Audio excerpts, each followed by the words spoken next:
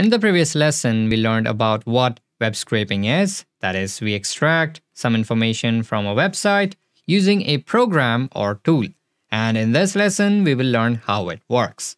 To understand the same, we can divide it into four steps. That is, sending a request, getting the response, selecting the data we want, and extracting the data. Let's start with the first step, that is, sending the request.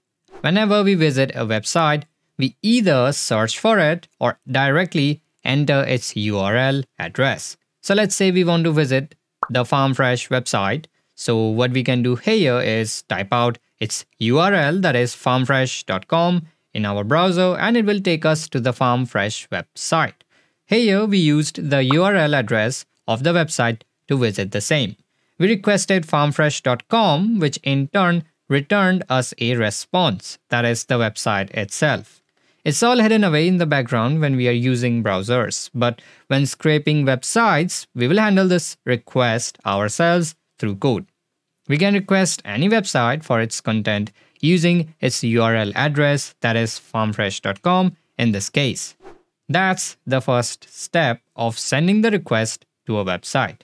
When requesting content, we will get a response back, which brings us to the second step of getting the response. In browsers, we have the visual representation of a website, but actually the website is structured and displayed using HTML. You may be familiar with the same if you have done some HTML and CSS before.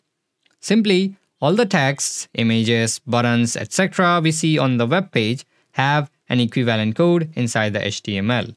Like this product title which is wrapped inside the h1 tags, that is the header element. So when we request through code, we get the HTML as the response back. Again, we have to handle the response ourselves so that it's easier to operate on. Now that we have the data inside the HTML response, we can parse it and select the data we want.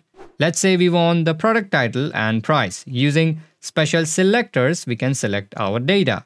We can either use CSS selectors or XPath to select our data from the HTML response. Of course, we will discuss both of them in the upcoming lessons.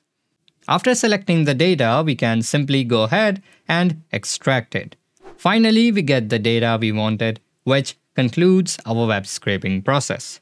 So what we did here is requested the content, got the response as HTML, selected the data we want, and then extracted it. So that's how web scraping works.